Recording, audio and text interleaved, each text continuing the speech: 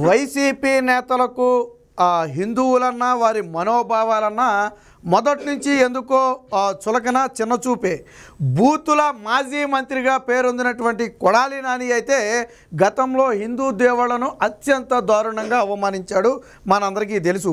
ఇప్పుడు కూడా ఏంటంట? తిరుమల లడ్డు ప్రసాదం కాదంట. ఒక ఆహార పదార్థం అంట. కాబట్టి మీరు జంతువుల కొవ్వు కలిసిన లడ్డూని తిన్నందుకు మీరేం బాధపడక్కర్లేదు. అంటే ఆయన దృష్టిలో ఏంటంటే మనం మాంసం ఎలా తింటున్నామో ఆ చికెన్ మటన్ ఎలా తింటున్నామో ఇది కూడా అలా తిన్నట్టేనని బహుశా ఆయన ఉద్దేశమేమో. మరి ఇంతకంటే దారుణమైన వ్యాఖ్యలు మరి ఇప్పటివరకు అయితే ఎవరో చేయలేదు. కొడాలి నాని చేశాడు. మీరెవరూ బాధపడొద్దు. ఆ ప్రసాదం కాదు ఒక పదార్థం ఒక ఆహార పదార్థం అంటే అందరూ ఆకలిస్తే ఎలా తింటారో ఇది కూడా అలా తినేదే కానీ మీరేం బాధపడొద్దని బహుశా ఆయన ఉద్దేశమేమో. కొడాలి నానికి మొదటి నుంచి కూడా మరి హిందూ దేవుళ్ళు అంటే ఎందుకనో గెట్టదో ఏంటో మనకు తెలియదు. గతంలో కూడా మీరు ఆ వైసీపీ అధికారంలో ఉన్నప్పుడు కూడా కొన్ని విమర్శలు చేశాడు.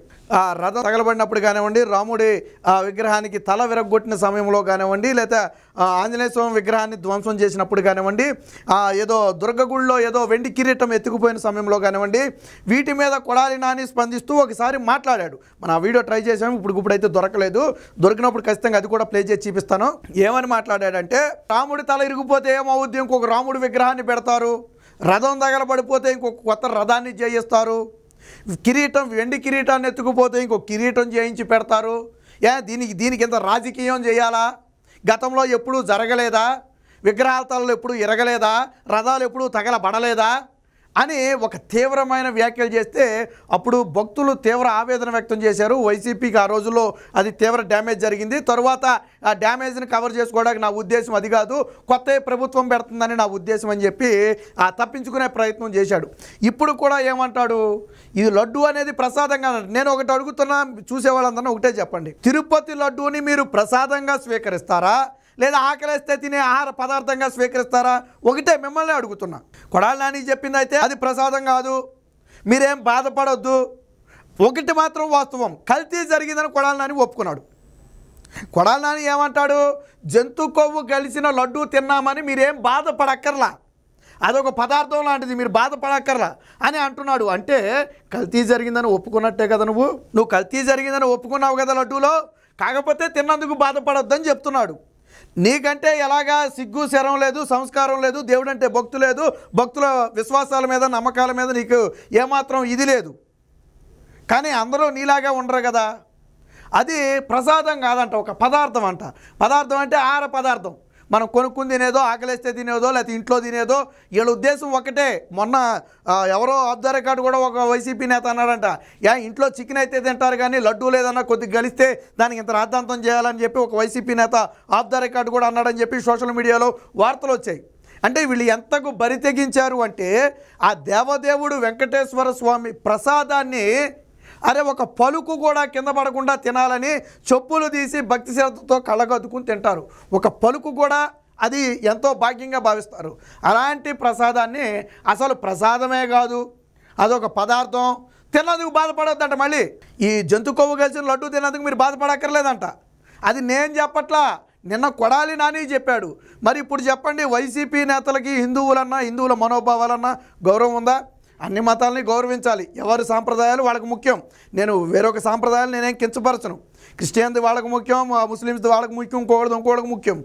అలాగే హిందువులది హిందువులకు ముఖ్యం. మరి ఇంకొకరి సాంప్రదాయాన్ని ఎలా కించపరుస్తూ మాట్లాడతారు? ఏమన్నాడు కొడాలి నాని? మీరే వినండి. ఎవరు కూడా మేమేదో అపచారం చేశామనో ఆ. లేకపోతే జంతువులు కొవ్వు కలిసినటువంటి ఆహారం తిన్నామనో ఆహారం అంట. వినండి ఒకసారి. ఎవరు కూడా బాధపడాల్సినటువంటి అవసరం లేదు. ఇది జంతువులు కొవ్వు కలిసినటువంటి ఆహారం తిన్నామనో జంతువులు కొవ్వు కలిసినటువంటి ఆహారం తిన్నామనో జంతువులు కొవ్వు కలిసినటువంటి ఆహారం తిన్నామనో ఎవరు కూడా బాధపడాల్సినటువంటి అవసరం లేదు. ఇది విన్నారు కదా జంతువుల కొవ్వు కలిసినటువంటి ఆహారం అంట ఇది ప్రసాదం కాదు ఆహారం అంట తిన్నామని బాధపడవద్దు మీరేం బాధపడవద్దు. కొడాలి నాని చెప్పేది అదే. అంటే కల్తీ జరిగిందని ఒప్పుకున్నాడా లేదా కొడాలి నాని? వైసీపీ ఇప్పటివరకు అసలు కల్తీయే జరగలేదంది కదా. కానీ కొడాలి నాని కల్తీ జరిగిందని ఒప్పుకున్నాడు. జంతువులు కొవ్వు కలిసినటువంటి లడ్డూ తిన్నందుకు మీరు బాధపడొద్దు అని ఒప్పుకున్నాడు అంటే కల్తీ జరిగిందని నువ్వు ఒప్పుకున్నట్టే కదా. కల్తీ జరగకపోతే అసలు మీరు తిన్న లడ్డూలో ఎటువంటి కల్తీ లేదు మీరు తిన్నటువంటి ప్రసాదంలో ఎటువంటి కల్తీ లేదు మీరు బాధపడొద్దని చెప్పాలా? ఏది మీరు చెప్పిన లెక్క ప్రకారం కలవకపోతే. కానీ నువ్వేమన్నావు? జంతువుల కొవ్వు కలిసినటువంటి లడ్డూ తిన్నందుకు బాధపడొద్దు. లడ్డూ కూడా కాదు ప్రసాదం కూడా కాదు. పదార్థం అంట ఆహార పదార్థం కావచ్చు. వినండి ఒకసారి. జంతువుల కొవ్వు కలిసినటువంటి ఆహారం తిన్నామా. ఆహారం. జంతువుల కొవ్వు కలిసినటువంటి ఆహారం తిన్నా లడ్డూని ఎవరైనా ఆహారం అంటారా? మీకు వెంకటేశ్వర స్వామి దగ్గరికి వెళ్ళి మీరు ప్రసాదం లడ్డు ఏమని అడుగుతారా? ఆహారం లడ్డు ఏమని అడుగుతారా? ఎవరైనా మీకు చేతిలో పెడితే ప్రసాదం లడ్డు ప్రసాదం అని పెడతారా? ఆహార ప్రసాదం అని పెడతారా? ఏమని పెడతారు మీ చేతిలో? వీళ్ళకి తెలియక కాదు కొడాల నానికి తెలియక కాదు తెలిసే. కల్తీ జరిగిందని కూడా ఆయన ఒప్పుకున్నాడు కదా. జంతువులు కోవగలిసిందని మీరేం బాధపడొద్దు అది తిన్నారని మీరేం బాధపడొద్దు అన్నాడుగా. అంటే ఈయన ఉద్దేశం ఏంటంటే జంతువులు కోవగలిస్తే మాత్రం ఏమవుతుంది అది ఒక ఆహార పదార్థం.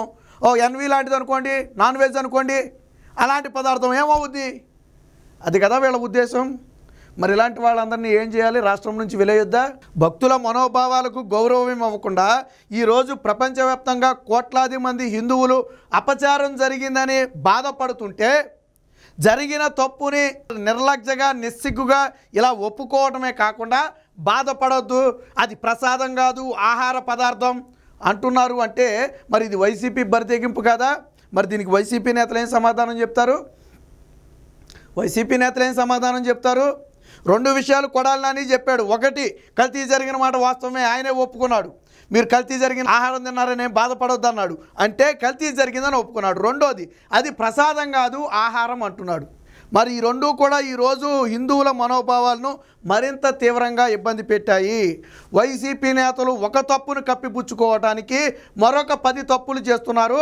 కొడాలి నాని ఈరోజు మాట్లాడిన మాటల మీద హిందువులు తీవ్ర స్థాయిలో ఆగ్రహావేశాలు వ్యక్తం చేస్తున్నారు. కొడాలి నానికి నిజంగా చిత్తశుద్ధి ఉంటే హిందువుల మనోభావాల మీద గౌరవం ఉంటే ప్రజల ఆకాంక్షల కోసమే మీ పార్టీ పనిచేస్తుందని మీరు అనుకుంటే ఖచ్చితంగా కొడాలి నాని ఈరోజు బహిరంగ క్షమాపణ చెప్పాలా? తిరుమల లడ్డూ మీద చేసినటువంటి ఈ వ్యాఖ్యలకు కోట్లాది మంది హిందువులకు కొడాలి నాని బహిరంగ క్షమాపణ చెప్పాలా? ఎందుకనంటే నువ్వు లడ్డూని అవమానించావు. కల్తీ జరిగిందనే నువ్వే ఒప్పుకున్నావు.